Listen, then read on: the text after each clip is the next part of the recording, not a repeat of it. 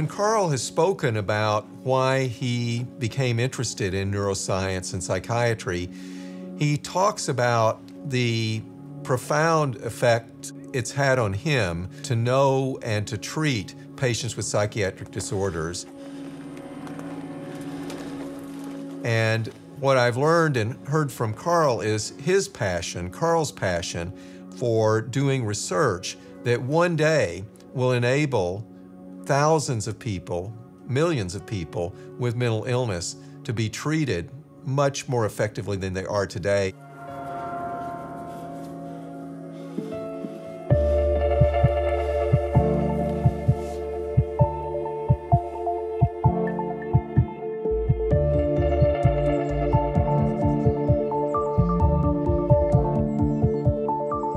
One of my patients with treatment resistant depression, he said when he was very depressed that uh, even neutral things, even simple neutral things like seeing a piece of paper on a desk, when he's depressed, he can look at that and he can get a powerful negative feeling just from a piece of paper sitting on a desk. And then that, that creates a basic science question where does valence or, or value, that subjective internal sense we have about something. Does it feel good or does it feel bad?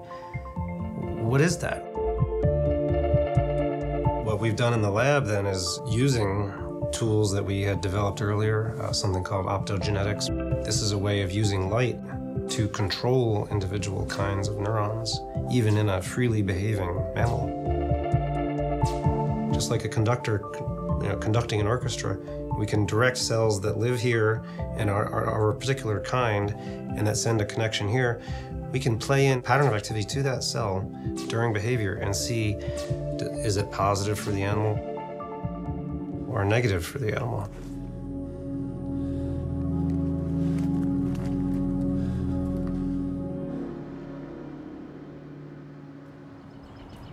Karl is one of the nicest and most remarkable people I have ever met.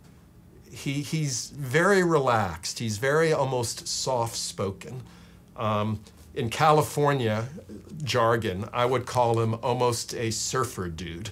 But underneath that surface is obviously an intense drive and passion to understand the brain, to really understand what's going on.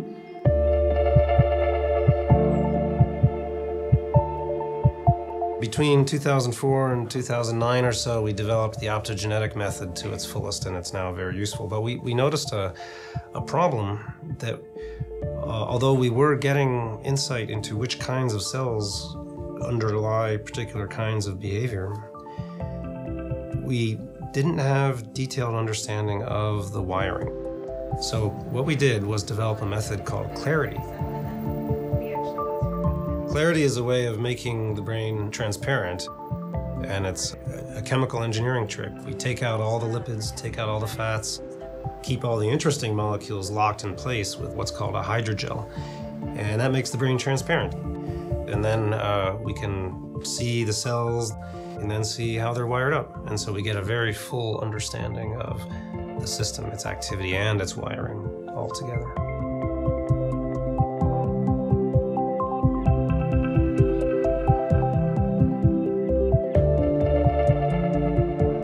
First, I want to congratulate your foundation on uh, providing Karl this wonderful award. He uh, certainly deserves it, and you could not have selected a more deserving person.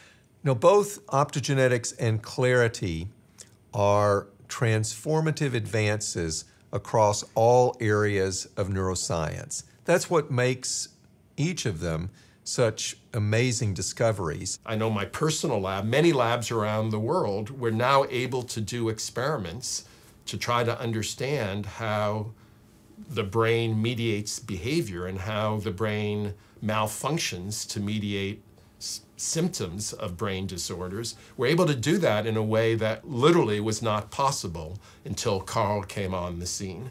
As you might imagine, Karl is very busy, um, but he's very thoughtful in the way he manages the lab. So we have um, lab meetings and subgroups that are organized in such a way to allow everyone to get feedback somewhat regularly. Um, and then, uh, considering his position, Karl himself is actually quite humble and down to earth um, and has a good sense of humor. The atmosphere of the group is very, very interactive, and the reason is this group is very, very interdisciplinary.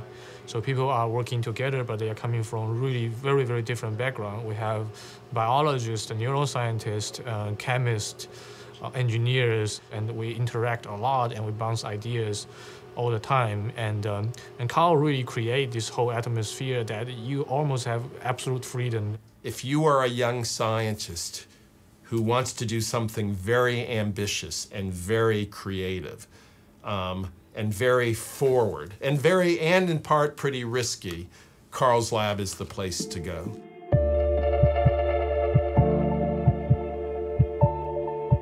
Uh, what I've described so far is the state of the art at this moment.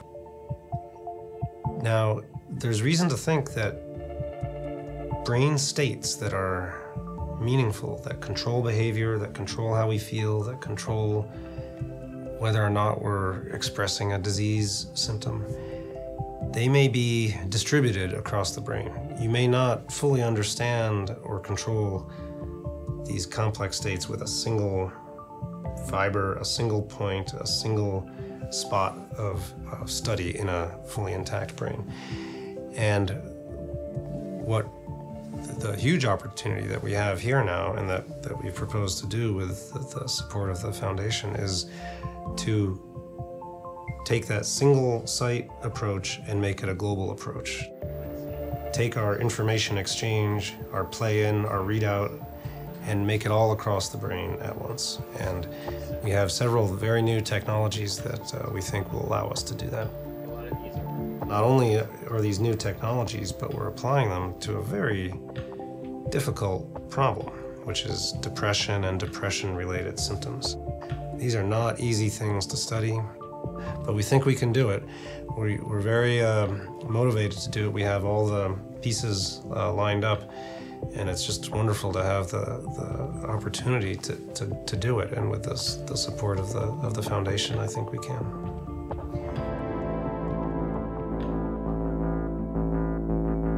Brain is perhaps the most complicated thing in the universe, and I, am certainly willing to believe there are things that we can't easily understand. Uh, but I don't think that a psychiatric disease is, is one of those things that we can't understand. I think we can. I think we will.